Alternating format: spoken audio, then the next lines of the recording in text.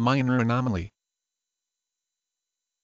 Minor anomaly, an unusual anatomic feature that is of no serious medical or cosmetic consequence to the patient. A minor anomaly of the feet might, for example, be curvature of the second toe so it overlaps the third toe a little. A major anomaly, by contrast, might be a cleft lip and palate, a birth defect of serious medical and cosmetic consequence to the child.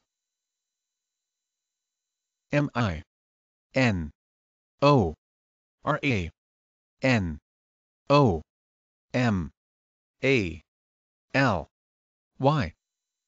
Minor anomaly